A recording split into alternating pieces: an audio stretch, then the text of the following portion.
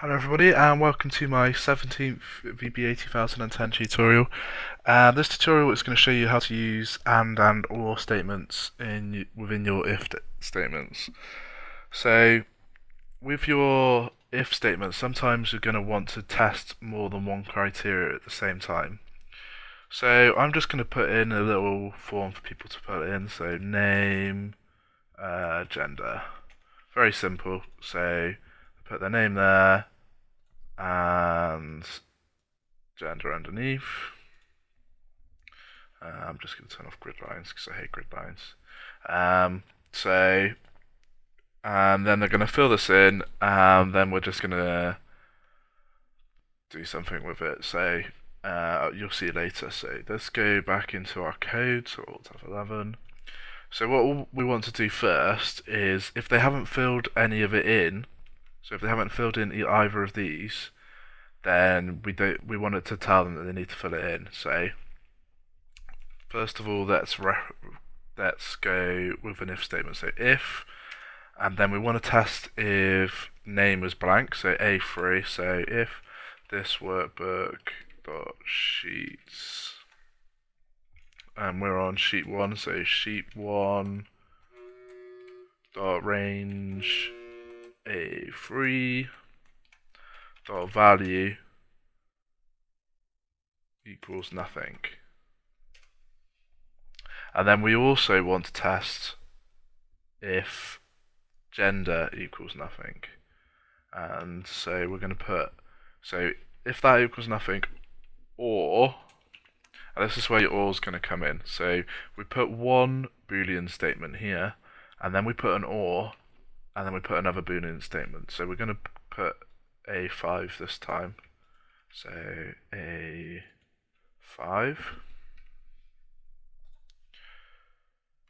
Then.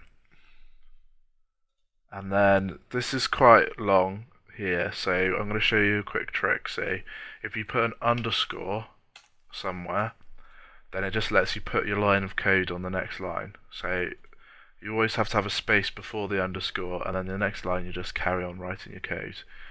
The only time you can't do it is don't do it in the middle of a string because it will just put the underscore in the string and it won't do anything. Uh, but that lets tidies it up a little bit for us. And then and we want else and then end if. So what this is going to do is it's going to test it this workbook dot sheets and I've spelled workbook wrong, so workbook. If this workbook dot sheets sheet one dot range a three dot value equals nothing, or this workbook dot sheets sheets one dot range a five e dot value equals nothing, and then that just lets us string those together. And I'm gonna put that another tab along. So, and then we want to do so if that all that equals true, then this whole statement is going to come back as true, and it's going to run it here. So if one of them's blank, we want to put a message box. Please fill in all details. And then otherwise we just want it to go into this one and carry on. So let's just test this. So let's go into here, Alt F8, Let's run Matty. And then it will come up with please fill in all details because we haven't filled one in. If we fill in here, say my name is Matty in here, oh F8, run, and it's still going to come up with please fill in all details. And then if we put gender in, say male, if you hadn't guessed already, and then run, and then it's not going to come up with a message now because it's tested both of them both of them come through to false. And so it's gone into this section of code here. So that's how you use an OR statement. You can do as many as you want. So if we put in a third one here so let's put in uh, age and then put that like that. And then we want to just test if that one So put another line in. So we do another OR and then a 7. and then when we run this without filling in age, run, and it's going to say, please fill in all of the details. So again, it's just going, if that one's true or that one's true, then it's true, or if that one's true, then it's true. And then, so if I fill my age in, and then press Alt F8, and then run, and then it's going to run fine. So let's move on to ands now. So ands are very similar to ors, except whereas ors only one of them needs to be true for the whole thing to come back as true, ands needs all of them to be true for it to be true, otherwise it will come back as false.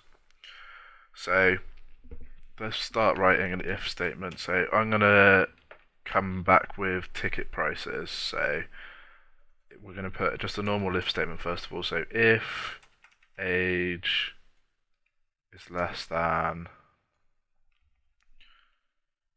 or equal to 16, then message box, you get child's price. Then we want to do an else if and do another one. So else if age is greater than 16 and then we also want to make it so we use an and, so and less than or equal to 65. We want to just do less than 65 because if you're 65 you're going to get the uh, pen pensioner's price. So then, and you got to put in age again, and you put no space in there. And so else if, and then we're just using an and here, so it's going to make sure that the age is greater than 16 and the age is less than 65.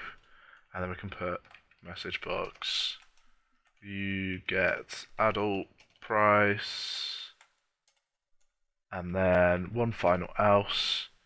So if they're not less than or equal to 16 and they're greater than 16 and less than 65 and then the last one is just message box.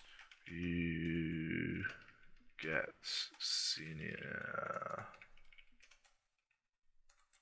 citizen discounts and then just end if same as normal.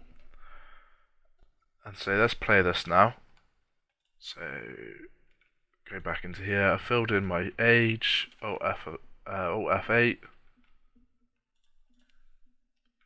and run.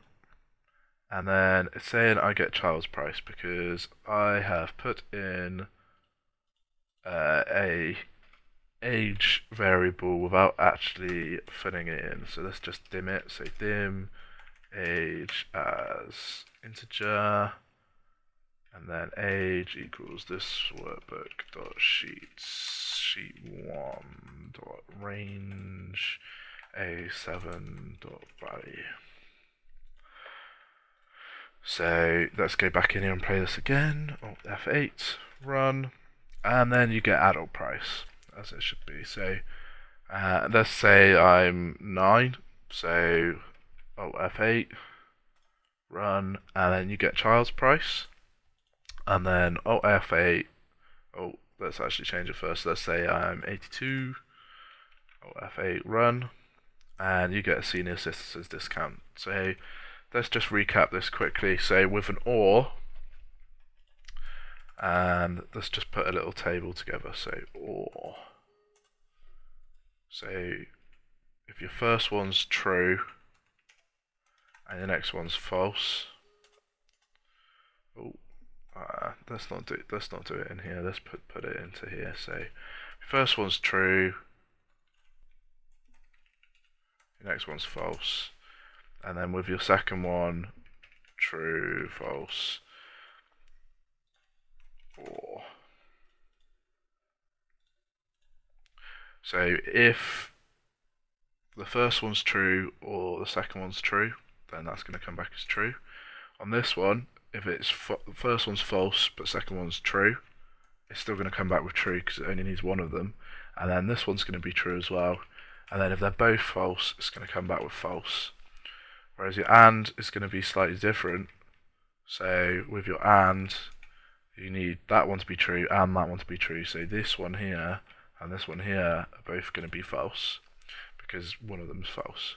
So if you if you if you find it confusing, then just use these two tables here just to show you what how the AND and the OR work.